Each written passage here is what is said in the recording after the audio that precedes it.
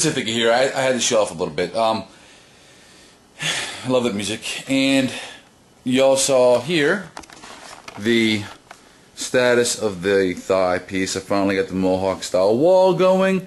And I gotta motivate myself to go outside and start the resin. I cut all my fiberglass already. Got my resin already set up. It's on the tripod. It's ready to go. And I want to take some time. See, the suit that I'm doing for this guy, for Pete in Japan, uh, what I want to do is I want to do a photo shoot with it when it's done before I send it off so we can add it to our portfolio. But I already sent him his helmet, and he loves it. So does his, uh, so does his squad or platoon and stuff. But anyway, so I decided to make my own helmet to match the suit. That way, it's not identical to his helmet, of course, but to match the suit. That way, I can wear the helmet with the suit and call it a day.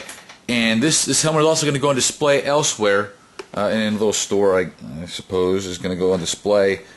And I want you all to see how I cleaned up. I don't know how well you can all see that, but I managed to clean the inside, paint the inside, used a very small motorcycle replacement pad, and this one's by um, it's model V1 Pilot. So it's a medium actually. That's kind of weird. It's really small, but it's a it's a medium, and it's a uh, model V Pilot. And I'll get you the name in a second who I got it from, but they do fit my Recons perfect. All right, and then I took the the foamy padding, and I made a stencil, and I covered with two pieces. I covered the entire front, covering up all the hot glue in the visor area and any of the imperfections of my cast when I was doing it. And then one around the back, which covers up more of the hot glue used to hold this padding in.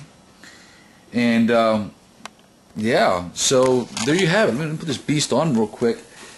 You would not believe, you would not believe how well this helmet fits to my face.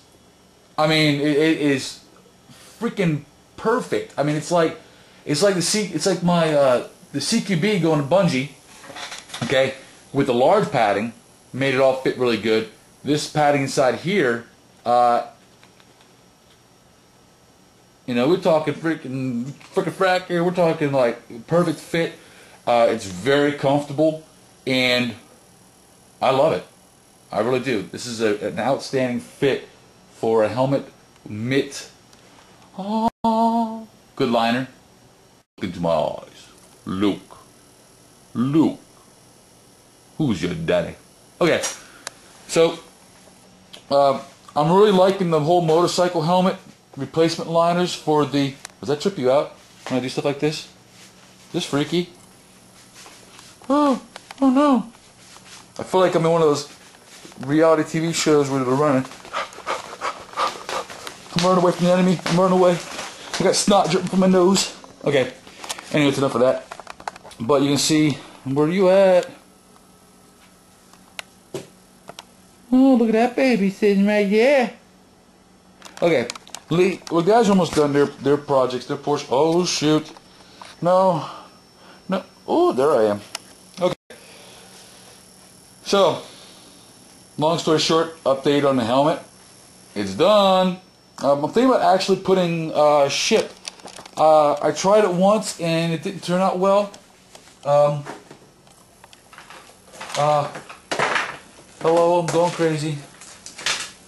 I'm trying to think about doing a ship stencil for Soaring Hammer Incorporated Productions, just like the Dare helmet, we, like we did, the stencil for Dare.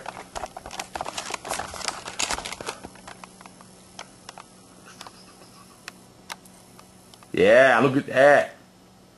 But um, so yeah, there you go. This is uh Ithaca from 405th.com. Ooh, look at me. Look at me. I'm a recon. But this is uh, Ithaca from SoaringHammer.com and 405th.com. Remember, if we can do it, so can you. This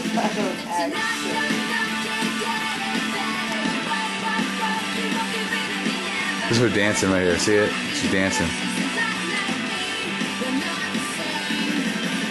What you working on, love? My face? God, I'm handsome. Now tell us what you're working on. Fine. Mickey! But check this out. You said I'm working on a footrest. We need one of those. I know we do. I'm still working on it. It's got a couple more coats to go. But that's the mother mold to the thigh.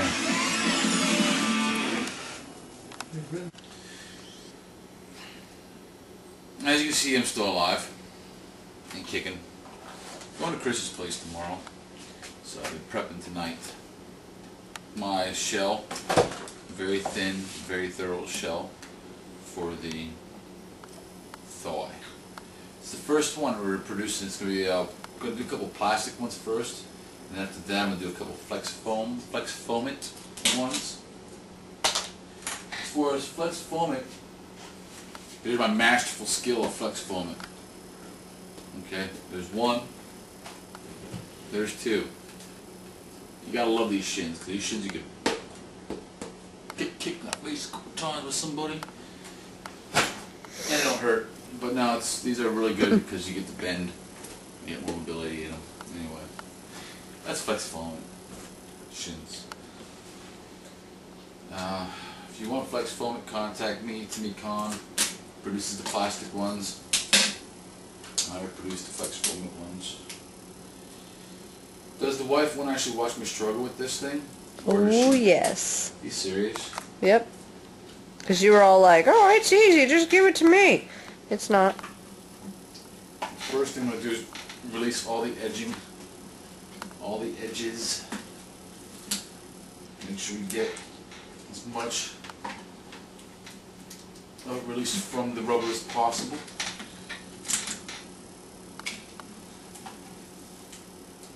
Stretch it out. Now walk it out.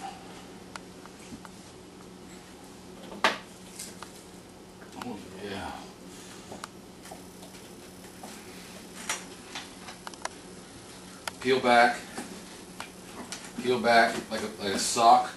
S-O-C-K-S. Peel back. Let's see. I'm gonna go this way with it. I'm gonna peel back. Okay. Alright, that's good.